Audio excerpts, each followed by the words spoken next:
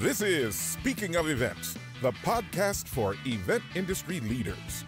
We bring together innovators, strategic rock stars, and visionary creatives to talk all about events, industry trends, and anything in between. And speaking of events, here is your host, Kerri Garbis. Here are some fun facts about me. I have been to every state except for Hawaii. I have been a contestant on two game shows. I was arrested once, sort of, and it's kind of a long story. Next time, another time. I have never, ever, ever been to a football game, ever. Not one, not a high school game, not a college game. And I went to Syracuse, not like a powder puff or whatever that thing was. Nothing. I've never, ever been to a football game for no specific reason. I have been to professional baseball, uh, hockey, basketball, soccer. I have been to Gillette Stadium. I was even on the field of Gillette Stadium. In fact, my holiday card this past year was me sitting in the stands of Gillette Stadium with my husband and my daughter, sort of like a play on Ted Lasso. So I've been near football adjacent. I have many football fans in my life, yet I have never ever been to a football game ever. And that is why we are so incredibly lucky that today's guest is even speaking to me because she's probably been to more than one football game. I'm going to guess, we're going to talk about it, but I'm going to guess that she has been to more than one football game and her football knowledge is going to far exceed mine. So if she is still willing to talk to me, I am honored to have as today's guest on Speaking of Events is none other than Jacquelyn Carroll, events manager with the Kansas City Chiefs. And for those who don't know, that's a football team. Welcome, Jacquelyn. Thank you so much for having me, Kerri. Are you still going to hang out and talk to me? I'll still hang out and talk to you. You can come out here for a game. We just host a few every year, so. I'm an, okay. I they, it is now recorded, stamped, primed. That's in gold. That's that's the show quote. We'd love you to have you out here. Thank you very much. All right, wait, this just in, having nothing to do really with events, but I also know you're a crime junkie fan, right? So, did you listen to Serial? We're going to talk about another podcast on the podcast. Did you ever listen to the the podcast yes. Serial? Yes, yes, you did. So you know what happened yesterday, right? Do I didn't, know this big news? I hadn't. I didn't watch yesterday's. I didn't listen to yesterday's episode yet. I only do when I'm in the car on trips. So not the episode yesterday, but like the glo the oh, global. Oh, it's not no. so global. What the U.S. news. Okay, so I was very excited because today, and we're recording on September 20th, is that Adnan Syed, who was on the yes. first, he got released. He, the judge in Baltimore, my hometown, still never been to Ravens football game or when it was the Colts when I was like a baby. Uh, still never went to any of those games. The the judge vacated his murder conviction and gave him 30 days gave not him his pro, the prosecutors 30 days to proceed with the trial or drop the case. This is huge in the crime junkie. Yeah? Yes. No i know. So you put the connect connect the dots for me together. And yes no i did hear that. And we'll see what happens. It always know, creates a, good stories. Yes. That was a little out of left field which is a baseball reference. So I, did you understand that? If I yes. say no, I, I understand all sports references most time. I'm coming off of a 80 plus hour work week with a large event this last weekend and a home football game. But yes, no, no, we are tracking it and hopefully something exciting. We'll see what the next 30 days brings. Yes, we will see. And I'm glad you get all sports references because I get about two. So you're going to help me. You're here. You, I hope you're here for me. I'm just glad you're sticking around. No, there is not a sporting event that I wouldn't wouldn't go to or watch. I, I don't say so. You have a really cool history with sports. We are going to get into that first, since we got the serial news off the table is I want to ask you, of course, what is the one thing you wished more people knew about events and please don't say it's something about football. no, no, no. I think for me, I wish more people knew that behind every great event is a person with an idea and that their idea is only with good intentions, right? Creating a memory, anything like that. But that behind every event, there is a person and, you know, good or bad or indifferent, um, that there's a person behind every great event that happens. That is so true. There, sometimes it can feel, or people forget that it's a human, it's a human experience and that there is a person behind every event. Oftentimes, especially with the Kansas City Chiefs football team, you are that person behind the event, correct? Correct. Yep. And and we host a lot of events here at um, GEHA Field at Arrowhead Stadium um, throughout the year, not just football games, which I think a lot of people um, sometimes forget. Um, so you know, a lot of times I am the person behind it, or one that at least helped putting it on. Um, but nonetheless, there is a person behind the the events. Will you tell us a little bit about what you do with, with the with the Kansas City Chiefs, please? Yeah, of course. So um, inside the Kansas City, Kansas City Chiefs, there's a special events arm called Arrowhead Events. We focus on the small, medium, and large market events um, that help make GEHA Field the Arrowhead Stadium entertainment destination for all these events. So whether it's a small meeting of 100 people or whether it's a 5,000 event out in the parking lot or a concert, um, like George Strait or anything like that, our department helps oversee and execute um, and produce all of those events here at the stadium. That is very cool. How long have you been with them? One year, one year to date today, actually. One year today? One year today. Woohoo! Congratulations. This is Thank a banner you. day. Wow. I, it is. I actually was like, I wonder when my one year anniversary is. And then I looked and I was like, oh, it, it it's this week. And it's today. And we're celebrating by bringing we, you on speaking of events. Thank you. Yes, no. So it's exciting. Yeah, it's been it's been one year, a great year, busy year. Um, obviously the Chiefs have a lot of momentum um, in the football season, but also just in events here and hosted a number of concerts over the summer, um, not to mention a lot of private events. So a good first year and looking forward to year two. Yes, and this has been a, a different year than a typical, not that anything's typical these days. What has changed from September 20th, 2021? Do you notice how I'm like pausing to figure out what year it is? So a year ago, what's different today than it was a year ago when you started? Do you think some big differences? Um, some big differences is we have a much larger team now. Um, so instead of a team of three, we are now a team of five um, which is really exciting and great to see, especially coming out of post COVID, um, that there is enough um, interest to have a much larger team, um, and that COVID protocols for the for for us have gone away, um, which we last season were on the little bit of the fence because of the NFL protocols and how that relates to events that we have. Um, but we we have since seen that go away, so it'll be a great a great year without COVID protocols. Absolutely. One one big thing yes. not on not on your plate probably. This is it's exciting. You're in a different space than a lot of people I talk to, which I always welcome. And you get to do and see some outrageous things. So, what's the most outrageous event you've ever been a part of? Um, oh, outrageous event. So my previous job, I was with the U.S. Skiing Snowboard Olympic team, and I had the opportunity to spearhead a group um, going to the 2018 Winter Olympics in Pyeongchang, South Korea. I don't think you're ever going to get. Well, the only other sporting event that's larger than that is the FIFA World Cup, um, but I don't think you're ever going to see anything more outrageous than that.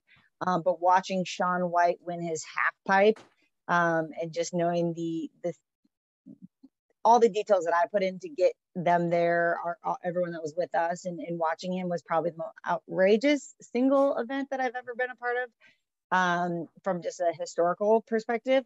Um, my current job, we recently did a project that dropped 10,000 balls, super balls in a parking lot. So that was pretty outrageous and different than we've never done before. Is that is that dangerous? What's the liability on something like that? A lot of lot of liability. Uh no it was all done within safe safe pro- protocols and everything like that. No one was hurt no one was injured. Um, but you you know you just never know how fast or how high those balls are going to bounce back up. So it was really something new super. For, something new for all of us to see, but it was it was really cool and, and definitely outrageous here at the stadium. Wait, how did can you share how we got how you got the balls on yeah. the dropped? Well, well, we how we collected them, or how did they drop out of the sky? How did they drop out of the sky? A helicopter. Oh, I, was it you that you were just taking them out one by one, like like a Santa sack? Because that would take some time.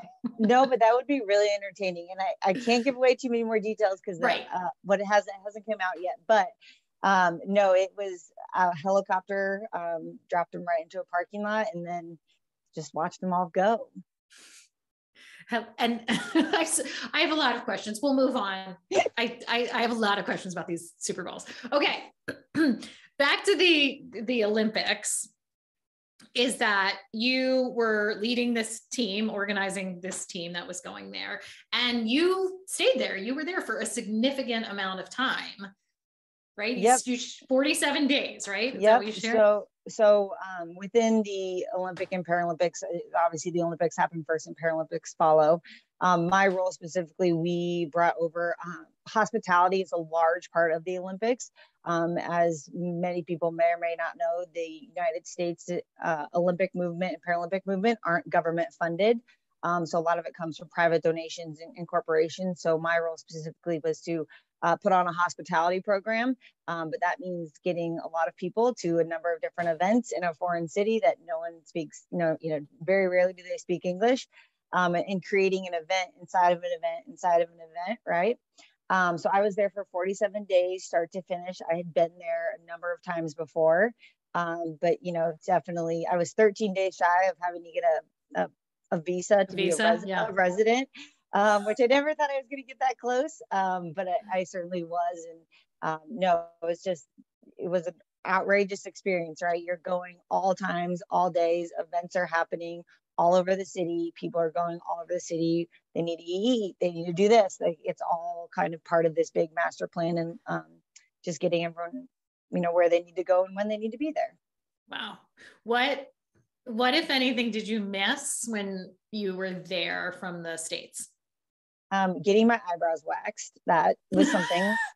be honest. Oh, I feel I, seen. Oh, I still I, feel seen. Thank you. When I, when I came back to from the United States, my husband and I laugh at this now, but I went through this whole like, oh my gosh, I haven't like done self care in 50 days, and I went and like got my hair highlighted, all this sort of stuff. And he looks at me, he's like, What did you do? And I was like, I just, I needed a refresh. And he's like, Can you take it out? Like, is this highlights washable? And I was like, no, no, no, no, dear, no. Um, but no, I mean, truthfully, I think I missed. Uh, I mean, the food. You're right. Your um, food is is different. Um, obviously over in South Korea, um, but really, mostly my eyebrows being waxed. That's my favorite answer ever. Thank you for that. And what, if anything, do you miss from there? I know it was a while back. You know, it was a number of years ago. Anything is there anything you missed from South Korea now? Stateside? I do. I do. Um, I'm like, there is, especially in the world that we live in today, there's no prouder or there's no prouder moment to then to watch all these athletes from all these different countries, you know, put politics for the most part aside and, and things like that, but really be a part of what they are in the, in that moment. So like I miss that moment. I miss that moment of watching all these different athletes compete um, and I miss that moment of like just being able to hear the national anthem played because Shaun White won gold, or Jessie Diggins and Kikkan Randall were the first women ever in United States history to win a medal and, and nonetheless gold. So um, I, I, miss that. Um, you know, it's a it, you just look back at it and it's a it's a blur, right? And I think that's what happens with a lot of events. Like you get so emotionally invested, you work so hard, and then it all it just goes. Events are meant to end; they're not meant to last forever. Um, right. But yeah, I mean, I miss some of it, but it's always really really great memories to have and ones that I'll have for a lifetime. That is wonderful. Thank you. I do. I want to switch gears a little bit and get into my world just a little bit and ask about speaker disasters because they happen everywhere even in the, even in the sports world they happen right yeah so i do so i think um, as i mentioned arrowhead events does small market events and a lot of those are, are galas um, or um, meetings and things like that every now and then we get a we get a, a drunken auctioneer that really just ruins the moment for the event. Um, and it's always quite eh, we had one a couple weeks ago. He just the event was over. It needed to be over. It was running out of time. Like contractually, like the event loadout was supposed to be happening. The bar was supposed to be closing. I mean, you name it. And he kept talking and would not stop. And you know, you go to the event person, like the event coordinator or the event contact, I should say, for us, and you're like, hey, like your time is ending. Like we really need to wrap this up. No one knew how to stop him. No one knew how to turn his mic. Like no one just he just kept going. Um, and so there was no music to turn like way up like they do at the award you, show. Like right, you're like just drown them out, just drown them out. Um, but it was it's always entertaining, and you always wonder like how how how did that happen? How did he sneak that many beers or whatever? Um, but always it's always entertaining for us to get some drunk auctioneers that never want to get off the stage. Yes, yes. And my next podcast is called Drunk uh, uh, Auctioneers and I can't wait for it to right. And it may come up with the best stories, and certainly it helps when raising money and things like that, which obviously we want our clients to do. Right. Um, but when you're towards the end of the event and you know you need to get out of that building, you know that sort of thing, it's it's it's funny. So the, the auctioneers speak very, very quickly and do that like cool cadence thing that I can't replicate. Does a drunk auctioneer also speak very quickly? Or is it all of a sudden very drawn out and slurred and you're like what happened? Very quickly. It's oh, it, still. It actually, like it feels like in our instant it like sped up right? It was like oh he did he had already done the fund and need. He had already done um, the live auction and he just like kept going and was getting faster and louder right? Like that's just part of that cadence. Oh yeah. Um but yes i finally we got him off stage, but it is entertaining and he definitely kept the crowd going. That's good. and the bar bill got very high. Right. So you take all of this in stride. You're willing to give up good eyebrow hygiene and everything for this industry. So, what else makes a good event professional, in your opinion? Yeah, I think um, the, the ability to be selfless, right? I think that's all why event planners are are so good at what they do is that they are there to help and support other people and they take themselves out of it. Um, I think that obviously the obvious of being detail oriented, um, customer friendly, um, think on your toes, that sort of thing is, is all part of being a really good event planner. Um, but just being, you know, my what I challenge our team here with, and, and really I have always is how do you be proactive versus reactive, right? No, nothing's ever going to go perfect. Being being perfect is is just not a thing. Um, but how can you proactively think about what those steps are or what you need to do in order to um, react to a situation that you may or may not see coming? Um, so I think those are some key things that really help an event planner um, be successful. Yeah, absolutely. So how did you get here? You you grew up in Nebraska. Where I where did. in Nebraska? Would you be willing to share where? Yeah, uh, West Omaha. West Omaha, Nebraska. Yep. You go to Iowa State. Yep. And voila, Proud Cyclone. You're the, right. You're at and now you're at the Kansas City Chiefs. How, how did that happen? Yeah. So um, uh, similar to probably a lot of other people's journey in college, um, I didn't I didn't graduate with the major I went in with. Um, I was the fifth. I was walking out of a, a, marketing final and I heard a girl on a cell phone talking to her mom, like, I'm going to change my major to event management. And I was like, ding, ding, ding, like that's me. Uh, so I went, my, my advisor at the time, and I still laugh about it now because I went to her and I was like, I need to change my major. And she's like, you know, let's talk about this. You're, you know, how, what this is going to add on to you, all that sort of stuff. I was like, no, this major is mine. And I'm very, once I get my mind made, like that is, that is my path. Um, so I switched my major and then I just started, you know, I'd always loved events. I was, you know, I always loved planning things for family and friends and things like that. So it was just natural. Um, at the time, I was a part of the fifth graduating class of event management at Iowa State, so brand new.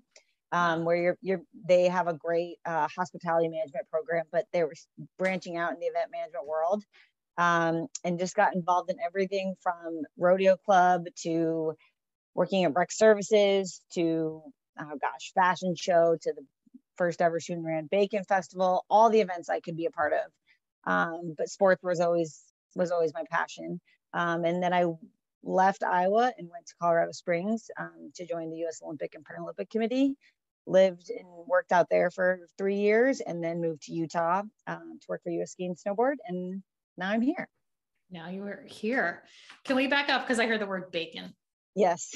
what? What? Tell me about that. yeah. So uh, I, I cannot take credit for this idea. It was this genius named Jake Swanson. He wanted to put on the first ever student ran bacon festival. Um, and we put our minds to it and got a Iowa State's an ag school for those of you that don't know. Um, we put our heads together and um, a bunch of us just got together, did different things, and voila, it came together. It was really successful. Um, it was, you know, if you ever want to handle 1500 plus pounds of cooked bacon, you don't want to eat it anytime after that because you just smell like it. And you, that's all you've really been around. Um, but it was an outdoor, you know, outdoor festival, so to speak. Um, and it was super successful and they still do it. It's much bigger now and it's in a new building and things like that, but they, uh, it stuck around and other, it was right when bacon was really becoming a trend, right? Like I feel like it was just starting to really take off. Um, so yeah, that was what really I'd say was uh, it was a highlight of college. I look back at it now. Bacon was a highlight of college for me as well. A little bit different, yes. So, absolutely.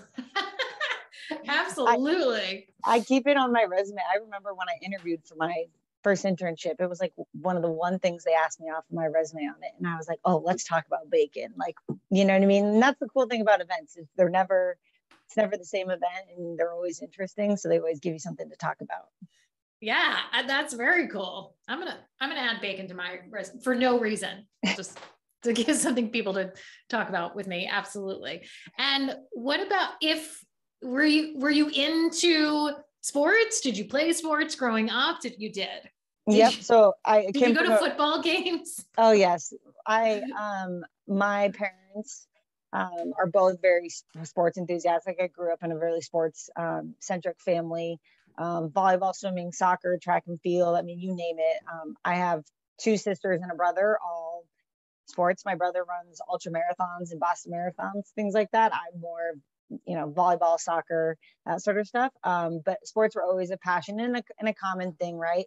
Good family activity. Um, my parents are actually born and raised Packer fans, which is funny because I work for the Chiefs now. Um, so naturally, I grew up going to those my, my whole life. Um, and so it's just something that I love the team aspect of it. Um, I think, you know, you're, you're always better off as a team than you are as an individual. And so I just naturally always grew to it. Didn't play in college, um, but played, you know, played all throughout high school and, and still play, you know, for fun in, in the rec now. That is awesome. Thank you. Well, Jacquelyn, are you ready for our Lightning Express round? yes. You're feeling good? Feeling good. You need a sip of water? You're good? I'm good. Okay. All right. We are going to put 45 seconds on the clock. And you've got seven questions. Here you go. What is your favorite moment in the event process? um, the smile on the guest's face when they see the when they walk into the room and they light up. Yes. Oh, I love that. Who do you consider your mentor? So I've been fortunate to have a number of great mentors throughout my my short professional career thus far. Um, my previous boss, Trisha Worthington, is probably my biggest mentor still to the state, um, biggest champion. So wonderful. If you could be on a game show, what game show would you be on? Um, I was on Nickelodeon Slime Live, so I probably would stick with that one. You were? That's I so was. cool. Did you get slimed? I did. I was uh, Universal Studios when I was, oh gosh, 11, 12, something like that. Yeah. Um, my mom tells great stories and has great pictures of it, but I think I'd, I'd go back to that. Universal Studios is where I filmed Family Feud. Okay, moving on. What do you do every day to stay healthy and sane? Um, I walked. Uh, yes. I get my eyebrows waxed. Right. um, but, but truthfully, between the hours of five thirty and eight thirty are my favorite hours of the day because I get to walk my dogs and, you know, do all the things that make me feel have a clear head to come to work to do my job well. Awesome. I have two corgis. We have two corgis, and they're the cutest things ever. So. if what are their names? That's not that's not the, in To- the seven questions. Toby and Clark. Toby and Clark. If you weren't talking to me right now, what would you be doing? Oh, I would be doing an event recap from our festival that we had this weekend. Was bacon? Did they have any bacon there? You know, they didn't. Uh, they didn't. It was a. It was a. Previous years they had ten days to build it. We gave them two days to build it. Um, so lots of learnings, but bacon wasn't involved in this one. Oh. Alabama was the band. The band Alabama was though. Ooh, oh, very nice. All right. You may have to stand for this one because I'm going to ask you to share your favorite Chiefs cheer, please. Gosh. Oh, I cannot sing the Tech N9ne song. Uh, oh, this is bad. I'm blanking because I can't remember the lyrics to it right now. I know. It's hard. It's high pressure here in the Lightning Express round that is now like in minute five. We're good. But the thing is, I can remember. I can remember the Iowa State one off the top of my head. Oh, Over the five five Okay. five for Iowa State. yes, that's good. We're good. We're good. We'll leave it with Iowa. Yes, yes. Iowa State. Woo! If you want the cheese one, you can. Oh, welcome to the Red Kingdom. There you go. That's what I got. That's awesome. Oh, I think we got bonus. That's amazing. All right. Final question in minute 18 of the Lightning Express round. What is the best way to take care of an event professional? Oh, what is the best way to learn to to learn to leave it at work? Oh my gosh. That is that's good life advice. That's amazing. Absolutely. Events will events happen all the time and work never seems to stop but you got to learn to leave it at work else you're never going to be able to separate yourself good, good place to end it. Thank you so much. thank you Jack, you're welcome. Jacquelyn, where can people find you, connect with you if they want to? Yeah, of course um jacquelyn carroll uh, on linkedin um on facebook instagram all that sort of or, or all that sorts of All the fun stuff, the um you can find my email address on the chiefs website if you're interested um but yeah all, all the stuff always happy Absolutely. to connect and love connecting with um like-minded professionals Yes, absolutely. We'll post that. We'll post your contact info in the show notes as well. Thank you. Thank you. I was very nervous about opening and, and disclosing that I'd never actually been to a football game. So I appreciate that you stayed with me and didn't hang up and weren't like, I'm out. So thank like i said much. any anytime you want to come out just let me know Oh, I will. Thank you. Thank you. Thank, Thank you so you. much. Thank you to the Kansas City Chiefs for lending you to us for a little bit today. Congratulations on your one year anniversary. How amazing. And thank you to our audience. Remember that if you like events, if you love events, even if you loathe events, tell someone about this podcast. And thank you very much again to Jacquelyn. And whatever you speak about, remember to be speaking of events. Speaking of events is sponsored by Ovation, the gold standard for professional presence and speaker development training, helping everyone get prepared, get confident, and get Ovation.